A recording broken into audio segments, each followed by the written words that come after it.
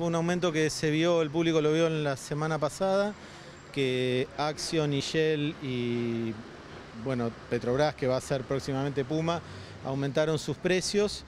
Y eh, en, la semana, en esta semana, el día de ayer, YPF acompañó la suba, eh, que bueno, estuvo un poco diferenciado en los porcentajes, aumentaron los gasoils un 2,5%, las naft, eh, esto implica entre 56 y 68 centavos de acuerdo a la calidad del gasoil, y las naftas aumentaron un 3,5%, que es eh, más o menos un peso por cada litro. ¿A qué se debe este aumento?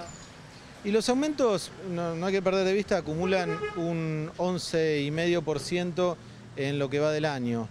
Eh, han pasado tres meses y medio, cuatro, eh, van acompañando, en definitiva terminan acompañando a la inflación.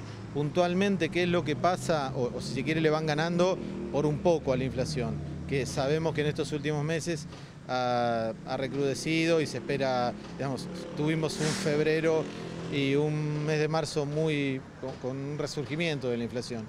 Eh, básicamente hay tres razones.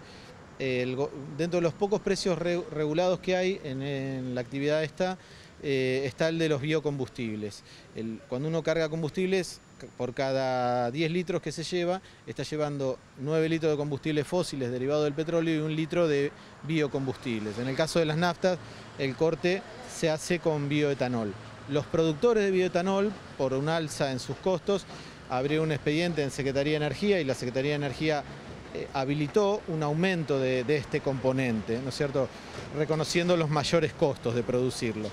Después, eh, a nivel internacional, que por ahí no es una noticia que se sigue acá en nuestro país, el crudo ha seguido subiendo, está muy cerca de los 70 dólares el barril, el crudo de Brent, que es el que se toma como referencia para nuestro país por decir algo, allá por octubre del año pasado, cuando se empezaron a liberar estos precios, ese mismo barril que está cerca de los, 60, de los 70 dólares estaba a 52 dólares. Acumuló un alza muy fuerte.